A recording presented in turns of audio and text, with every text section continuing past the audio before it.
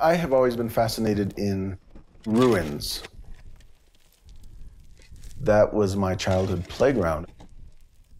Growing up here in La Florida, Colorado, there were many abandoned buildings that were made out of adobe. Now I'm a professor of architecture working on an experiment. 3D printing comes to La Florida. Wow. What do you think, Mom? My name is Ronald Rael. I have a mission to unearth the histories of the earthen buildings. I'm from a very particular place in the United States.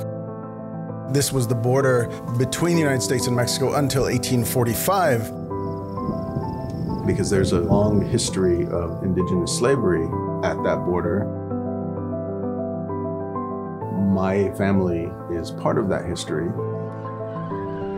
Whether being a descendant of a slave or descendant of someone who held a slave, we are connected to that past.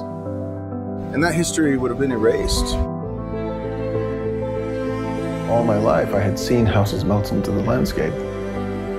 I have seen language begin to disappear.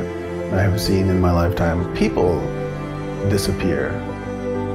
I think that one way of looking towards the future is actually looking at the past and seeing what we've done.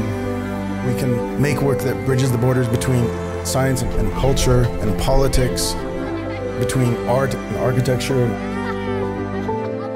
We're talking about architecture, furniture, and objects all made out of the same materials using the same technology.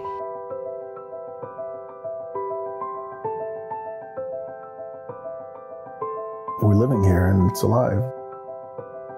This house is part of us now.